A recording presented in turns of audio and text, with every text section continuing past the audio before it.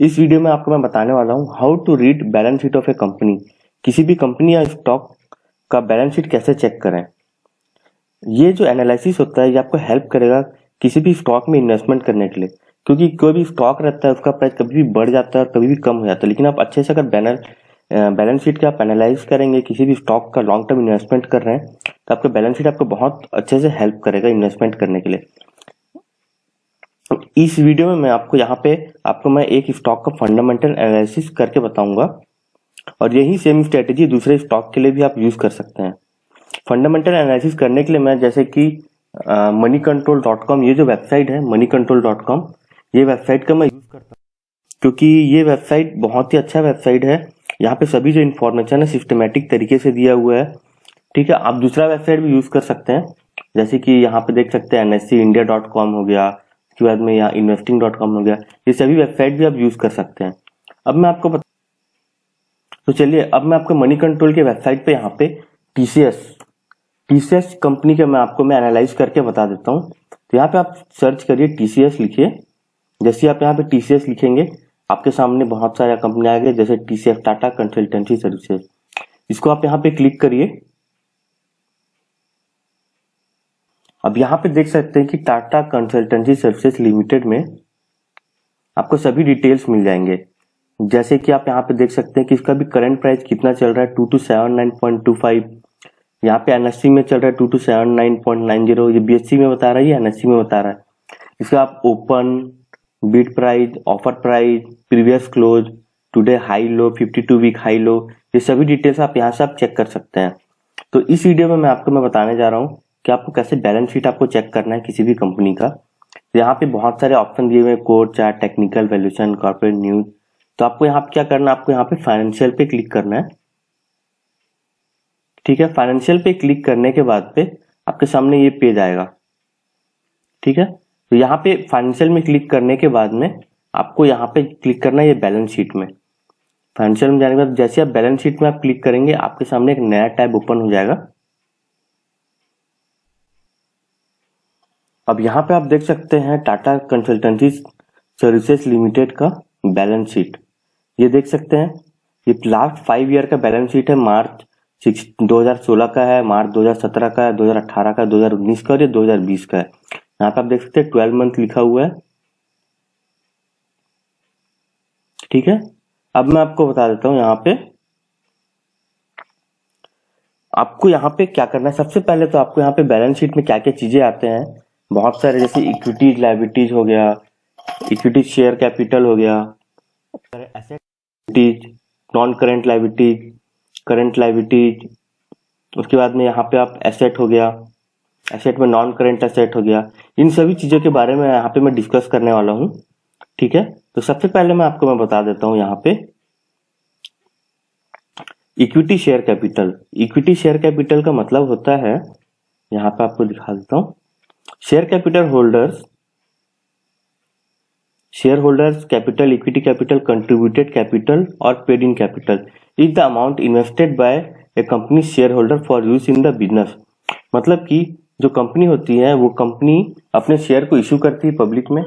Issue करने के बाद में जो भी पैसा, जो शेयर कैपिटल जो कैपिटल होता है कैपिटल आता है, वो कैपिटल को कंपनी अपने बिज़नेस में यूज़ करने के लिए रखती है। उसी को हम कैपिटल बोलते हैं शेयर कैपिटल तो अब यहाँ पे आप ट्वेल्व मंथ में देखेंगे तो उसका वैल्यू 197 था फिर 197 फिर एक कम हुआ 191 फिर ट्वेल्व मंथ के बाद ये वन अगेन ये 375 हो गया। उसके बाद में आप देखेंगे तो फिर अगेन ये 375 है ठीक है? उसके बाद में आप जैसे टोटल शेयर कैपिटल यहाँ पे अभी 375, 375, 191, 197, 197 है लास्ट ट्वेल्व मंथ का। ये सोलह सत्रह अठारह उन्नीस बीस लास्ट फाइव ईयर का। उसके बाद में आप यहाँ पर देख सकते हैं reserve and surplus reserve and surplus का मतलब है कि कंपनी ने कुछ भी फंड पैसा रिज़र्व करके रखा है हुआ है ताकि वो यूज़ करे फ्यूचर में उसको यूज़ कर सके। अगर आप देखेंगे तो इस कंपनी में इतने सारे पैसे रिज़र्व करके रखे हैं। जैसा देख सकते हैं कि मार्च 2016 में तो 2016 में 64,000 इतना था फिर 17 में इतना था फिर 18 में 75,000 फिर मार्च 2019 में आप देखते हैं 78,523 है और मार्च 20 में 23,993 है। इतना इन्होंने रिज़र्व एंड सरप्लस अपने यहाँ पे रखा हुआ है। इमरजेंसी में इसे कुछ भी पर्पज से यूज़ कर सके फ्यूचर में। ठीक है? तो सबसे पहले फ़र्स्ट में किसी भी स्टॉक का अगर बैलेंस शीट चेक कर रहे हैं अगर रिज़र्व एंड सरप्लस बढ़ रहा है मतलब जिसका रिज़र्व एंड सरप्लस ज़्यादा है तो इसका मतलब ये है कि कंपनी फंडामेंटली स्ट्रांग है। रिज़र्व बढ़ने का मेन रीजन होता है कि कंपनी का प्रॉफिट होना। क्योंकि जब भी कंपनी को प्रॉफिट होता है तो उसमें से, जो नेट प्रॉफिट में से जो कैश बचता है, वो आपका रिज़र्व एंड सरप्लस में ऐड हो जाता है। हर साल वो आपका जो भी प्रॉफिट होता है, वो आपका में से रिज़र्व एंड सरप्लस में होता है। लेकिन यहाँ पे आप देखेंगे तो इसका जो रिज़र्व एंड सरप्लस है, ये कम हो गया है। Seven twenty three thousand nine hundred and ninety three ठीक है? अब अब हम जानेंगे लाइबिलिटीज के बारे में। लाइबिलिटीज का मतलब होता है कि दायित्व कंपनी का दायित्व है कि कंपनी को यहाँ पे पे करना पड़ेगा। यहाँ पे दो तरीके के लाइबिलिटीज होते हैं। एक ही, एक है नॉन करंट लाइबिलिटीज और दूसरा है करंट लाइबिलिटीज सबसे पहले हम जानेंगे नॉन करंट लाइबिलिटीज के बारे में। नॉन करंट लाइबिलिटीज का मतलब होता है long term more than one year या टू ईयर पे यहाँ पे जो भी लाइबिलिटीज होते हैं, उसे वन ईयर या टू ईयर के बाद में पे करना होता है। जैसे कि आप देख सकते हैं नॉन पहले आपको बता देता हूँ long term borrowing long term borrowing में क्या होता है, इसमें जो डेप्ट होता है, जिसका पेमेंट वन ईयर या टू ईयर के बाद करना होता है, यहाँ पे पेमेंट वन ईयर के बाद होगा. लेकिन उसका जो भी इंटरेस्ट हो हो इंटरेस्ट होगा, वो बहुत ज़्यादा होगा, वो प्रॉफिट को अफेक्ट करता है. लेकिन यहाँ पे आप देख सकते हैं, जैसा कि लॉन्ग टर्म बोरोइंग हमेशा कम होना चाहिए. अगर लॉन्ग टर्म बोरोइंग कम है तो कंपनी प्रॉफिट में है. यहाँ पे आप देख सकते हैं कि लॉन्ग टर्म बोरिंग में इनका कुछ भी नहीं है। पहले देख सकते हैं कि फिफ्टी था फिफ्टी फिर यहाँ पे फोर्टी फोर यहाँ पे थर्टी नाइन है। ठीक है? लास्ट फाइव ईयर का। अब यहाँ पे देखेंगे तो लास्ट टू ईयर से इसका कोई भी लॉन्ग टर्म बोरोइंग नहीं है अभी। तो ये बहुत ही अच्छा है। उसके बाद मैं आपको बता देता हूँ। मतलब आ, उसके बाद मैं आपको बता देता हूँ डिफर्ड टैक्स लाइबिलिटीज इसका मतलब कंपनी को टैक्स पे करना है लेकिन अभी तक इस साल कोई भी टैक्स पे नहीं किया है। अब जैसे यहाँ थ्री सिक्सटी सिक्स हो गया, ये जितना भी चीज़ दिखा रहा है, ये करोड़ में दिखा रहा है, ठीक है सीआर में है। Three sixty six C R तीन सौ चौदह है फोर ट्वेंटी फोर है थ्री थर्टी नाइन है। फिर आप यहाँ पे देखेंगे तो ये अभी थ्री फोर्टी सेवन है डिफर्ड टैक्स लाइबिलिटीज जिनका भी टैक्स पे करना बचा हुआ है। उसके बाद में हम देखेंगे अदर लॉन्ग टर्म लाइबिलिटीज जो भी अदर लॉन्ग टर्म लाइबिलिटीज है मोर देन वन ईयर या टू ईयर वो सभी अदर लॉन्ग टर्म लाइबिलिटीज में आते हैं। तो अब यहाँ पे आप देख सकते हैं कि इसका जो लाइबिलिटीज है अभी इस कंपनी का बहुत ज़्यादा है six thousand two hundred and thirty four जो कि कंपनी के लिए अच्छा नहीं है। या ये बहुत ज़्यादा है, ये बल्कि ये कम होना चाहिए था। अब मैं आपको बता दूँ लॉन्ग टर्म प्रोविज़न इसका मतलब कंपनी कुछ पैसा रिज़र्व करके रखी है फ्यूचर के लिए। अगर कोई इमरजेंसी आ गया या फिर कोई एक्सीडेंट हो गया फायर और अदर स्मॉल एक्सपेंसेस ठीक है? तो यहाँ पे भी आप देख सकते हैं लॉन्ग टर्म प्रोविज़न में भी यहाँ पे कुछ नहीं है यहाँ भी ज़ीरो है। तो आप देख सकते हैं टोटल करंट लाइबिलिटीज हो गया कंपनी का six five eight one one seven zero one one one three two one zero three five one zero nine five last five year का है ये। अब मैं आपको बता दूँ करंट लाइबिलिटीज के बारे में, यहाँ पे आपको जो भी लाइबिलिटीज होते हैं, उसे वन ईयर के अंडर पे करना होता है। सबसे पहले शॉर्ट टर्म बोरिंग बता दूँ आपको मतलब ऐसे डेप्ट जिसका पेमेंट आपको वन ईयर के अंडर करना होता है। ये हो गया शॉर्ट टर्म बोरोइंग यहाँ पे आप देख सकते हैं कि पहले हंड्रेड एंड थर्टीन था, फिर पाँच लाख फाइव ईयर का तो अभी यहाँ पे ज़ीरो है। तो चलो ये अच्छा है करंट लाइबिलिटी जिसका कुछ भी नहीं है। उसके बाद ट्रेड पेबल जो भी ट्रेडिंग का पैसा बचता है, जैसे कि vendors for inventory rated good business suppliers और मटेरियल ये सब शॉर्ट टर्म डेप्ट है, किसी भी कंपनी का। अब उसके बाद मैं आपको बता दूँ other current liabilities other current liabilities short term डेप्ट होते हैं, इसमें भी जो भी लाइबिलिटीज होते हैं, उसे वन ईयर के अंदर में करना होता है। लास्ट में आता है short term provision short term provision आता है, ये ये भी सेम लॉन्ग टर्म प्रोविज़न जैसे ही है, लेकिन यहाँ पे जो इमरजेंसी फंड होते हैं, उनका पेमेंट शॉर्ट टर्म मतलब वन ईयर के अंदर करना होता है।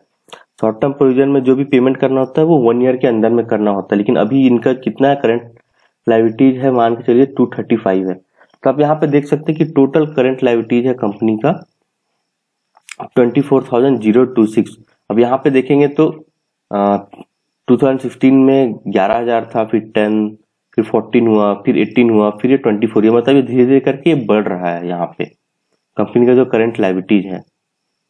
अब यहाँ पे दिखा रहा है total capital and liabilities total capital और लाइबिलिटीज आप देखेंगे तो यहाँ पे इतना है।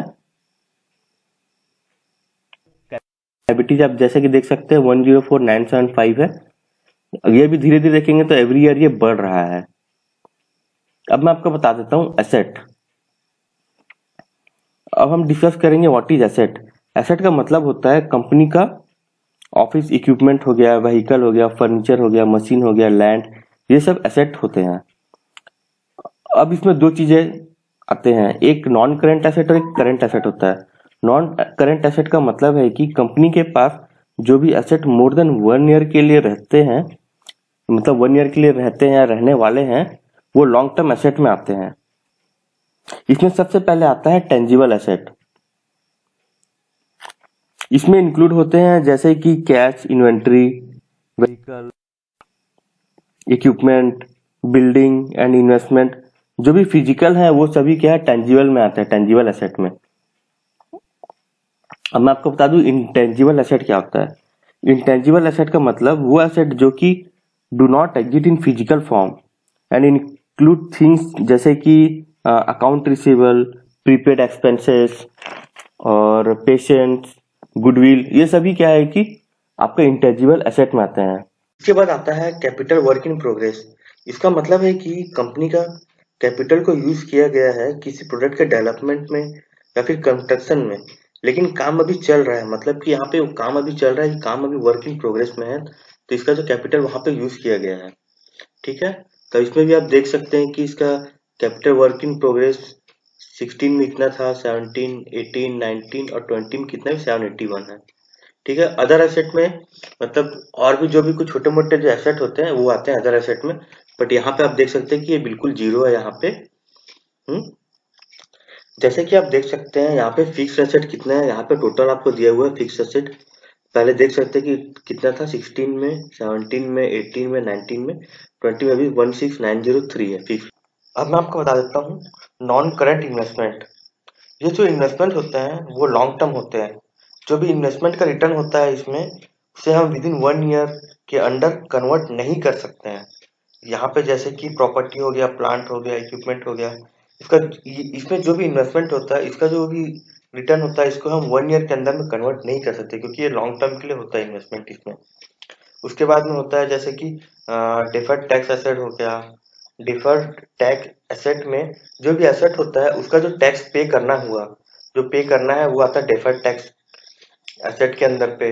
फिर होता है जैसे कि long term loans and advances long term loans and advances का मतलब हो गया जैसे कि कंपनी ने किसी को एडवांस में पैसा दिया है, या फिर आप समझ लीजिए कंपनी ने किसी को लॉन्ग टर्म लोन दिया है तो कंपनी को उस लोन और एडवांसेस का इंटरेस्ट मिलता है। यहाँ पे long term loan and advances में कंपनी किसी को लोन वोन दिया तो यहाँ पे उसको इस पे इंटरेस्ट मिलता है। अब इसके बाद में आता है अदर नॉन करंट एसेट मतलब कंपनी को जो भी रिटर्न आना है अदर करंट एसेट से, उसे हम नॉन करंट एसेट में डाल दिया जाता है। तब यहाँ पे total non current asset amount इतना है, जैसे कि आप देख सकते हैं total non current asset amount sixteen में इतना था सेवनटीन में इतना था एटीन नाइनटीन और ट्वेंटी में भी देख सकते हैं two five seven eight one है। ठीक है?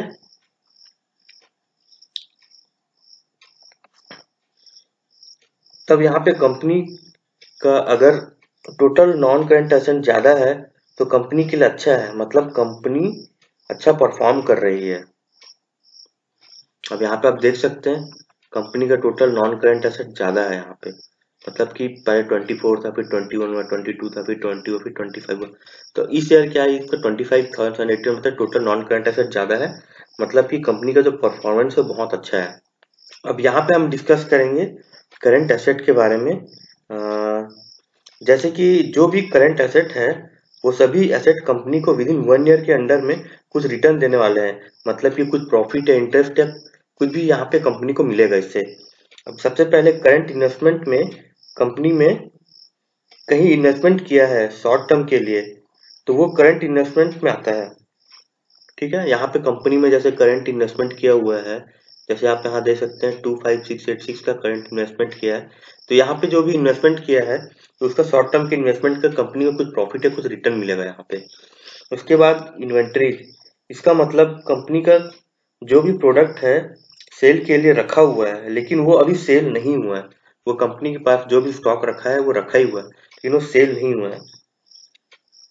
और ट्रेड रिसीवल का मतलब होता है, कंपनी को पैसा भी आना बाकी है। उसके बाद कैश एंड कैश इक्विलेंट का मतलब होता है, कंपनी के पास कुछ कैश रखे हुए हैं कैश इक्विपमेंट के लिए। इक्विपमेंट कैश इक्विपमेंट बोले तो जैसे कि कुछ मशीन हो गया, या कुछ सामान खरीदने हैं, उस, उन सभी चीज़ें छोटे मोटे चीज़ों के लिए कंपनी के पास अलग से पैसे रखे हुए हैं। उसमें ताकि वो परचेज कर सके। उसके बाद short term loan and advances आता है। तो short term loan and advances में क्या होता है कि कंपनी ने किसी दूसरे कंपनी को आ, मतलब शॉर्ट टर्म लोन दिया हुआ है। तो यहाँ पे क्या है कि कंपनी को शॉर्ट टर्म लोन जो दिया हुआ है उसका कंपनी को क्या है कि शॉर्ट टर्म के अंदर में उसको कंपनी वाले को पैसा भी पैसा भी वापस मिलेगा। जितना उन्होंने पैसा दिया था प्लस साथ में उसको उसका इंटरेस्ट भी मिलेगा। लास्ट में आता है जैसे other current asset other current asset में जो भी एसेट छोटे मोटे एसेट होते हैं, वो सभी अदर करंट एसेट के अंदर पे आता है। जैसा कि आप देख सकते हैं, यहाँ पे टोटल करंट एसेट दिखा रहा है seven nine one nine four यहाँ पे आप प्लाट फाइव ईयर का देखिएगा, ये सब बढ़ते जा रहा है। ठीक है? अभी यहाँ पे है seven nine one nine four है। अब यहाँ पे आप टोटल एसेट देख सकते हैं one zero four nine seven five है। 2016 में double seven four one seven था, फिर 89 हुआ, फिर 91 हुआ, फिर 99 हुआ, फिर one zero four nine seven five तो मतलब ये कंपनी के लिए अच्छा है कि कंपनी का जो टोटल जो एसेट है बहुत ज़्यादा है, ठीक है? तो बैलेंस शीट में आप कभी भी आप चेक करेंगे तो लास्ट फाइव ईयर के चेक करिएगा। तो यहाँ पे सबसे पहले तो आप इन सभी चीज़ों को देखिएगा कि कंपनी के पास मतलब रिज़र्व एंड सरप्लस कितने हैं शेयर कैपिटल कितना है ये सभी चीज़ें आप चेक करिए कि इसका लॉन्ग टर्म बोरोइंग कितना है। कहीं से लोन वोन तो नहीं लिया है, कितना का लोन लिया है लॉन्ग टर्म प्रोविज़न कितना है शॉर्ट टर्म बोरोइंग कितना है। ये मतलब ये छोटे छोटे चीज़ें हैं, इन सभी चीज़ों को आपको चेक करना है। इन सभी चीज़ों को आप चेक करने के बाद में आप अच्छे से किसी भी स्टॉक में आप इन्वेस्ट कर सकते हैं लॉन्ग टर्म के लिए। ठीक है? देखिए, अब बैलेंस शीट का काम क्या होता है यहाँ पे? आपका जो टोटल एसेट है और टोटल लाइबिलिटीज है, वो दोनों मैच होना चाहिए। अब यहाँ पे क्या है टोटल एसेट आपका क्या है? One zero four nine seven five और यहाँ पे आप देख सकते हैं लाइबिलिटीज क्या है one zero four nine seven five ये दोनों मैच कर रहा है यहाँ पे, ठीक है? मुझे आशा करता हूँ कि आपको ये चीज़ समझ में आ गया होगा कि किसी भी कंपनी के बैलेंस शीट को आप कैसे चेक करें। ठीक है? तो मैं आपको यही सजेस्ट करूँगा कि आप अगर लॉन्ग टर्म इन्वेस्ट कर रहे हैं किसी भी स्टॉक में तो आप अच्छे से किसी किसी भी स्टॉक के बैलेंस शीट को चेक करें इन्वेस्टमेंट करने से पहले। तो इस वीडियो में बस इतना ही। Thank you